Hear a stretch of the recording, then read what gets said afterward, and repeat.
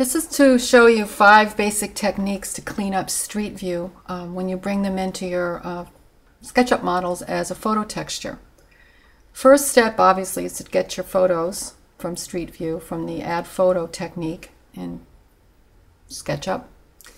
And in this uh, shot I'm taking a copy, cloning that so that I can um, show a before and after when this is over.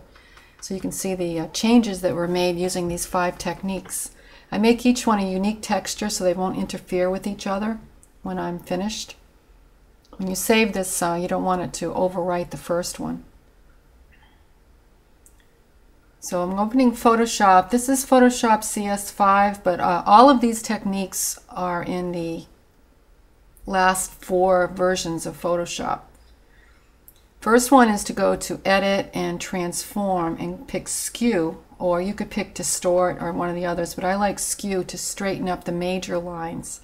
And just by tweaking or pulling one corner, you can straighten up all of those window lines. And we'll further straighten them later.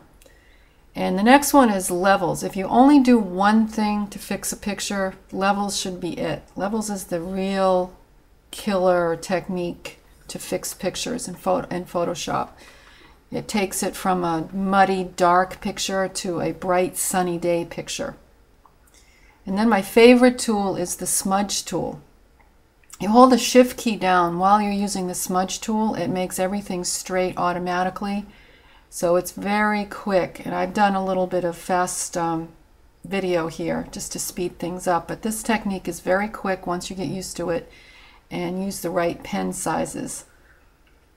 You can see that you can pretty much fix an awful lot of that distortion and distractions with just the smudge tool. It really has become my favorite tool for fixing. And it makes a low-res uh, photo picture from Street View look like a more professional high-res pretty quickly. And then you can make a little trick I like to do is if people are standing in front of windows, make them part of the window. And you can do this just with a few smudge tool um, techniques. So now these people who were standing in front of the windows are either reflections in the windows or now they're inside the building looking out. And that's a lot quicker than trying to take them out using clone or something else. So the smudge tool can be used very effectively to fix pictures in Photoshop for SketchUp Street View pictures. And then use the um, Dodge tool to brighten things up. I used to use this in a dark room to do things, but now I can use it with Photoshop. Then finally the clone stamp tool, which I don't like to overuse, but there are parts of this model that have details that can only be fixed with the clone stamp. You can't make everything, so you have to kind of clone the best parts to other parts. The detail on the right side of the building, which was covered by a tree on the left side, can be added back in, for example, as you see here. And a little bit at the bottom. And then use the dodge tool again to brighten.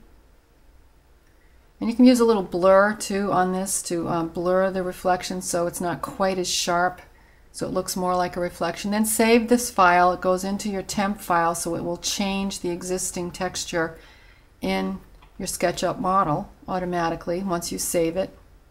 There's no special extra saving required. And you can see here, now we have an after on the left and a before on the right. And you can see the difference that those five little techniques make in fixing your street view photos for modeling. If you take all the time to do the modeling in SketchUp, you want your textures to look their best, and this is one way to do it. And again, after and before. So I've cleaned up my street view with a few little tricks.